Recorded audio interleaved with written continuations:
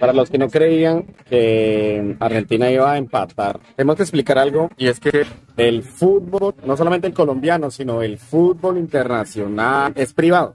No es algo que funcione para tener contento a las personas, que es un negocio. Y dentro de los negocios pues hay patrocinadores y uno de los patrocinadores son las casas de apuesta. Dígame quién ganó o quiénes perdieron o cuántos perdieron apostando que Colombia iba a ganar, por ejemplo. Eso fue una avalancha de publicidad, eso fue una avalancha de de noticias, o fue una avalancha de entrevistas, una avalancha de memes, donde aseguraban que Colombia iba a ganar, ganarle a Brasil, imagínense. Con el partido de ayer es evidente, evidente que mm, ese partido estaba diseñado para que Ecuador hiciera un gol y no lo hizo, ni siquiera le dieron un penal y tampoco lo hizo. La defensa argentina no estaba corriendo, no estaba recibiendo balones. El partido de ayer estaba diseñado para que Ecuador comenzara con un gol, ganando tal cual sucedió con Brasil y Colombia.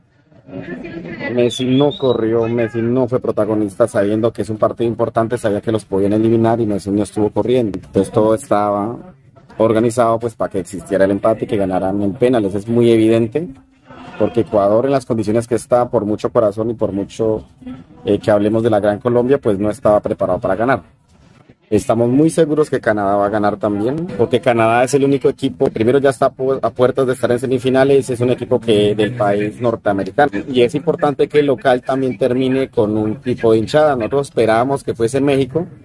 De hecho, México hizo todo lo posible, pero Ecuador se paró muy bien. México jugó muy bien para mi consideración. Aunque las emisoras locales en México consideren que México fue un fracaso, yo creo que México jugó muy bien y no se le dieron las cosas. El llamado a clasificar era México, eh, pero bueno, por cuestiones numéricas eh, estamos seguros que Canadá ahora va a ganar. Venezuela que ha hecho un buen partido, pero para que una final sea eh, contundente y que tengan una buena hinchada ya en Estados Unidos, porque la Copa América es en Estados Unidos, consideramos nosotros que Canadá va a ganar. va a haber muchas amarillas, cierto, posiblemente los penales, pero yo creo que va a haber mucha pelea en el partido de hoy porque ninguno es favorito, ni, Venezuela ni Canadá, y creemos que los números sí están abiertos en este marcador. Inclusive eh, podría ir cualquier, cualquiera de los dos, pero nosotros creemos que Canadá va, a pasar, se iría a semifinal con Argentina eh, y Argentina llegaría a la final.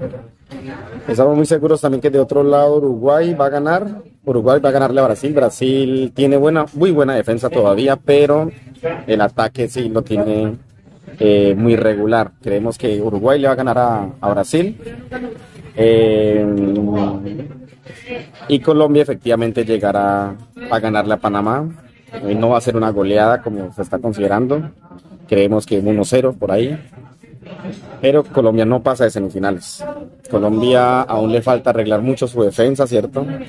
Lastimosamente Colombia eh, no tiene suplentes, tiene una gama de titulares, pero si ellos salen de la cancha o si alguno se lesiona, y ellos también son seres humanos, si alguno se siente mal emocionalmente, si alguno siente presión en estos momentos, y, la presión que deben estar sintiendo los que no pueden jugar, pues también está grande.